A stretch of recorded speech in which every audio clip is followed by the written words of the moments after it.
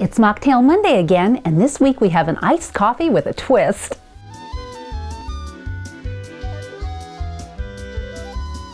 Hello, and welcome to Mocktail Monday at the Velveteen Lounge Kitchen. Today we have an iced coffee with a little extra flavor.